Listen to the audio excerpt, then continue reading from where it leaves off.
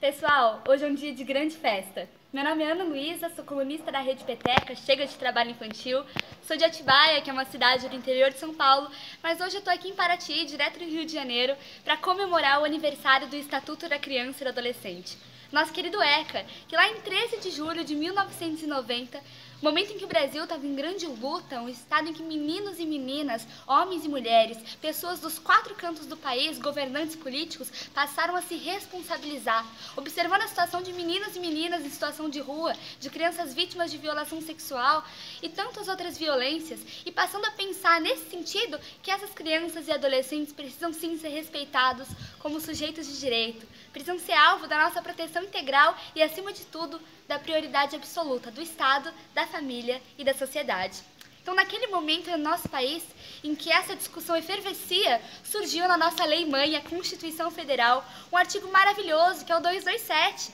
que puxou o gancho responsabilizando a família, a sociedade e o Estado pelo cumprimento e por zelar pelos direitos de crianças e adolescentes. Dali surgiu a Lei 8.069, que é o Estatuto da Criança e do Adolescente, que agora em 2018 completa 28 anos. E é por isso que nós precisamos arregaçar as mangas e, acima de tudo, vestir a camisa dessa luta. Conhecer o fluxograma de denúncia, tornar suas redes sociais canais potenciais de mobilização para envolver as pessoas nessa discussão dos direitos humanos e entender que crianças e adolescentes são um presente e não um futuro de uma nação que os espera crescer para compreender o peso de suas vozes. Então eu tô aqui direto da Rede Peteca, direto dos portais das minhas redes sociais, para desejar um feliz ECA para todo mundo, dizer que todo dia é dia de luta, mas hoje, 13 de julho, é especialmente um momento imprescindível para a gente lembrar de tantas crianças e adolescentes que são vítimas de violências e do nosso papel fundamental para acabar com essas violações de direito e nos tornarmos agentes potenciais dessa lei tão querida.